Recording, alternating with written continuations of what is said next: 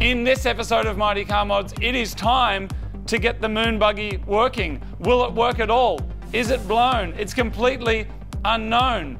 It's a journey that has never been journeyed before on this planet or any planet. So come with us on an intergalactic journey into outer engine sphere.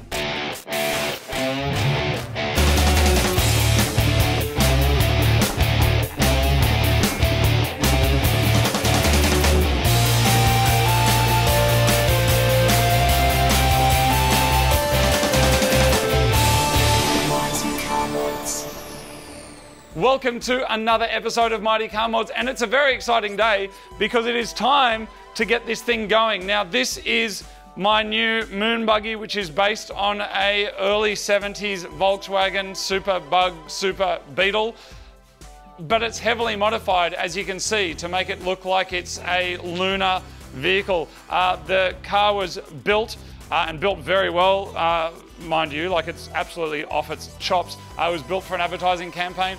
I bought it because it was just sat in storage, and then since then it's been sitting in my mum's garage for the last five years. It hasn't been touched, it hasn't been started, so I have no idea what state it's in. But as you can see, it's a very unique and strange car, and something that I'm really excited to try and get going again. But when it comes to these kinds of engines, uh, I have little to no experience at all. Um, and as you may know, Marty's not uh, around for this one. He's working on his MR2, but luckily I know somebody who knows all about these, so let's go get him.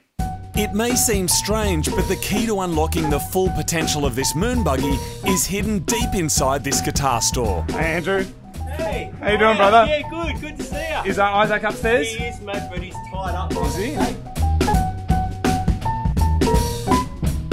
If I'm going to have any chance at all of beating Marty's MR2, then I need to speak to the young man at the end of this corridor.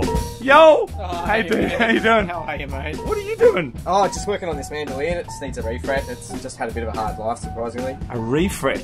This is our mate Isaac, who works at the Guitar Factory. He's a guitar tech for the best musicians in the business, and he services all of Marty's and my guitars at our recording studio. But as well as being an absolute boss on the G string, he also knows a thing or two about old Volkswagens. So I've decided to ask him if he can help me with my old Beetle while Marty is knee deep in Mr. Pooh. All right, Isaac, feast your eyes on that.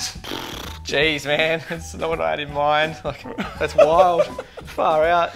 It's crazy, isn't it? Oh, dude, it's so crazy.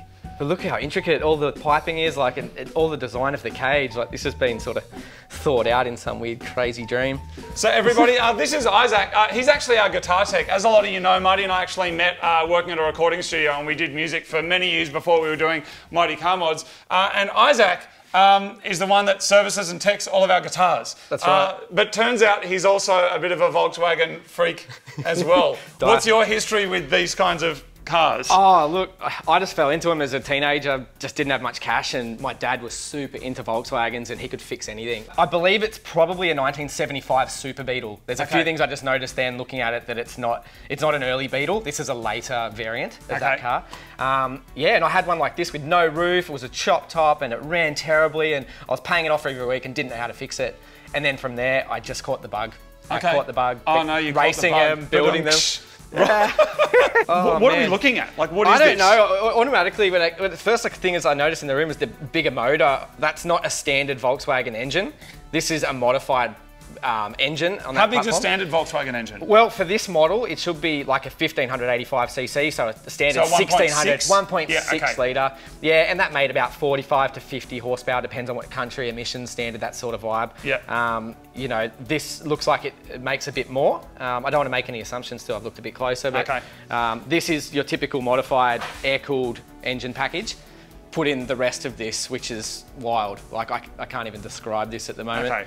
So it's been sitting for five years, okay? Right, okay. Um, the fuel lines are all cracked. Yep. As you can see, like they're actually just like they're they're hard as old Oh, nuts. wow. Like they're they're Jeez, they're rooted. Yeah. Um, I don't know anything about carbies other than when I've like rebuilt them for motorbikes and stuff. Oh, so I don't know if it's Yeah. like similar, but I imagine that when they're sitting for Yep. five years, they might be a bit gummy. Of course. If there's fuel in it or fuel Yeah. going through it, that means that all of these lines are going to be full of old fuel. Weber carburetors, what these are, um, they're on sort of everything sort of sports car related, that's sort of vintage, you know, inspired stuff. You know, Alfa Romeos, you know, Ferraris, even you know, Volkswagens. There's so many, so many vehicles out there that are still running with these carburetors. Okay. So the aftermarket is huge.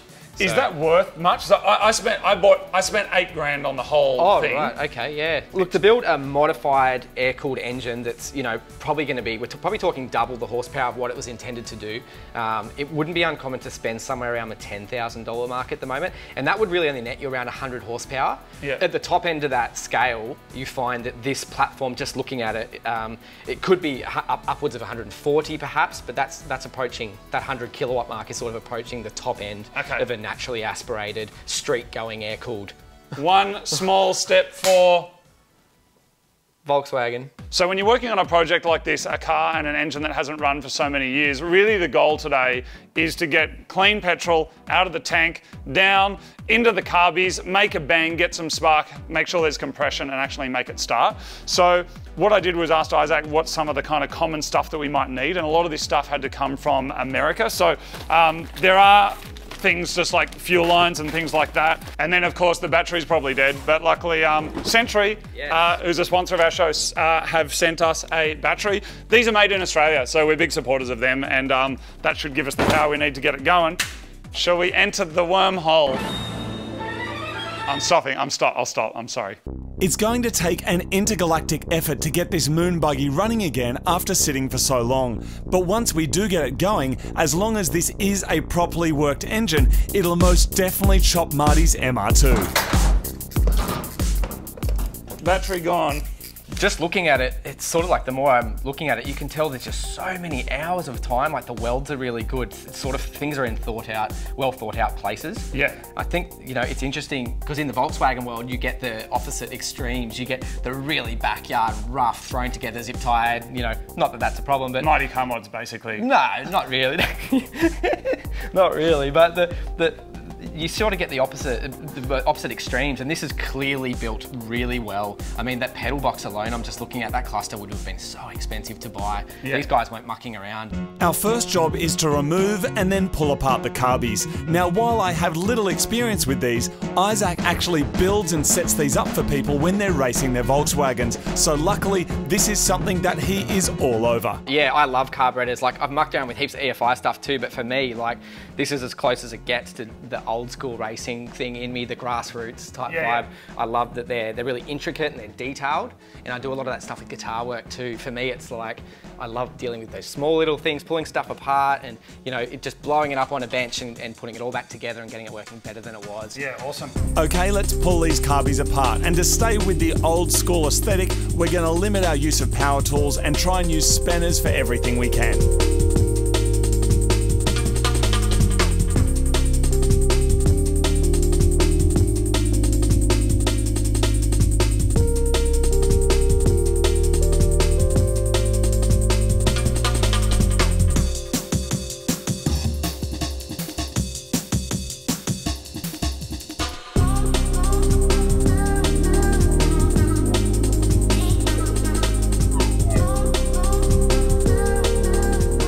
Good news, people. We've got our first evidence that this engine may be a goer making bulk power because if we look down here, we can see that it's got ported heads. We've got more airflow through the engine, means this thing's probably going to do something. That's good.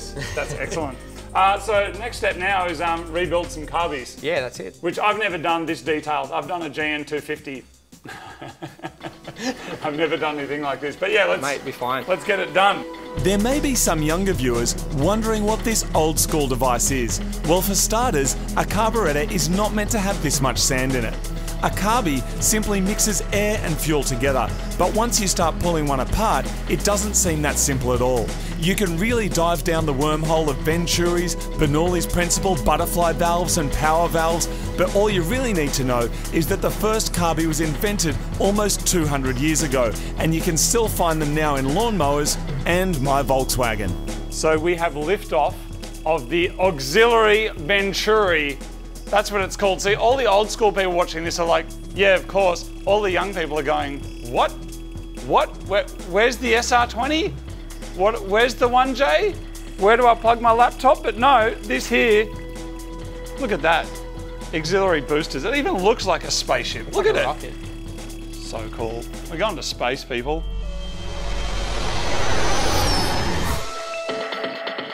We've got some more evidence that indicates that this engine may be bigger than the 1.6 litre.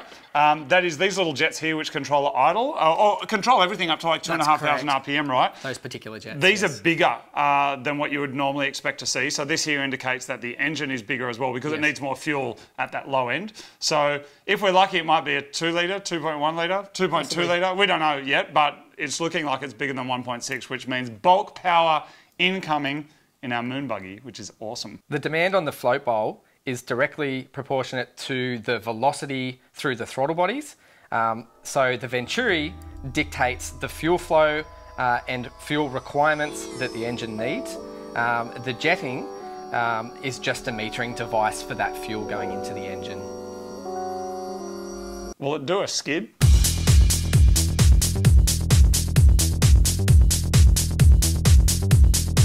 So that's what five-year-old fuel looks like, people.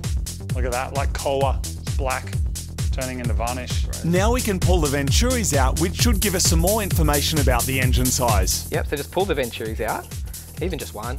Man, mine are huge. What's what have you got? This has a number written on there. It should say, does it say 36? Oh yeah, 36. 36. So this now 100% confirms that this is a large capacity engine. Excellent. So we're probably looking maybe 2.1, maybe 2.2 litre. So Yes. we're, we're probably targeting that upper range of 140 horsepower, that 100 kilowatt type vibe. Okay, at the So- wheels. No. At the engine. Yeah, but there's not a great deal of loss through these sort of transmissions, so it's still a good amount of power for a light thing. Yes, that's right. It'll It's- do a skid. It's all about power to weight. It'll do a skid. That's all it has to do. These are really big. Okay. Oh, I mean, it has to smoke an MR2. That's all it has to do. They're what 220 horsepower, maybe 1200 kilos. This is what 800 kilos, Oh, Less, I reckon. 140 I horsepower. This is less. It's going to be a pretty good race, man. Yeah, awesome. Nah, bro, bro, bro. Yeah, use that one, I think. No, not together, bro. Perfect, nailed it. We've almost reached the end of the black hole, which is the disassembly of these carbies, even though you probably can't get to the end of a black hole. But once they're disassembled, we're going to give them a good clean in WD-40 brake and parts cleaner.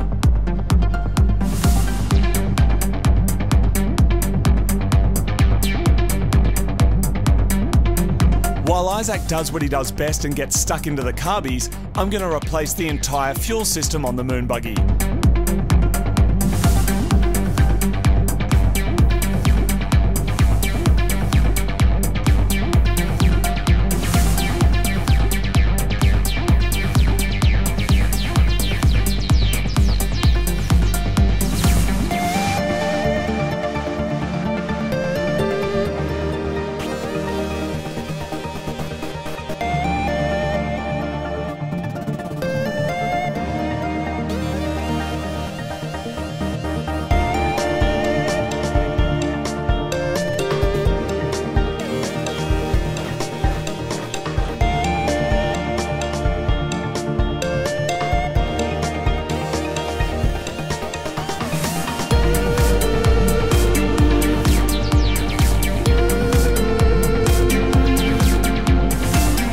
Here is the Ryobi Stick Vac, which is a cordless vacuum. Usually it's got that when you're kind of doing your house or whatever, but you can get a little bit of hose like that and gaffer tape it onto an end of a nozzle like that, and that lets you get into all of those crazy hard to reach places.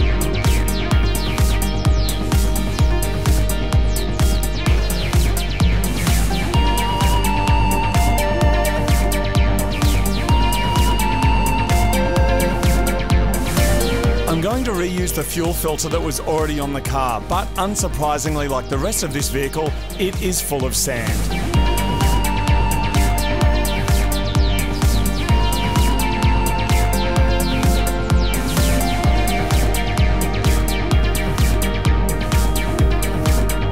With the fuel filter now thoroughly cleaned, I can put it back on the car along with the new fuel regulator, a fuel pump, and now I can get going on replacing all of the old hoses.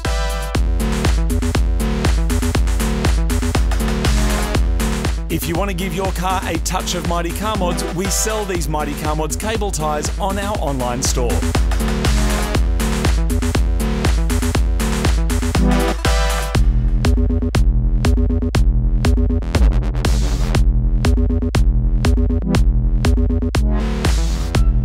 This is what the carby looks like when it is fully broken down. You can see just how many parts there are and all of the adjustment possibilities, but that is something for another time. All right, people, so the fuel system is mostly done. We've got new fuel lines, new fuel pump. I've done the wiring on that. Fuel regulator is in. That obviously splits like a T-piece to send fuel to each of the carbies. Now, these have been completely cleaned and laid out by our, I was gonna call you a guitar expert, a Volkswagen expert. My friend Isaac, what a legend. He's the Yoda of the Volkswagen world, of the old badge. He loves it. Anyway, so this is going to slow down a little bit now because we're going to rebuild these and I actually want to do one of them, you know, so I can learn how it's done. So we're going to hang out and do that tonight. Then tomorrow we do the battery, the ignition system, we do the oil system, make sure the brakes work, make sure the bearings and stuff are okay. And then we'll be ready to start it. Like it'll be skids tomorrow, Yeah, right? for sure. Absolutely. Yeah, so, absolutely. Thank you so much for your help today. I'm saying thank you now, even though we're still going to be here for many more hours. Um, No worries. but thank you very much, everybody, for watching. That is the Moon Buggy, day one. Heaps of progress, heaps of edumacation, and we'll see you back next time where we're going to start it. I was going to say and skid it. I don't know if we'll skid it. We'll start it. We might skid it. Maybe. We might. We'll see how we go. Anyway, we have carbies to build, so we'll see you next time on another episode of Mighty Moon. Mo- I'll stop. I'll stop.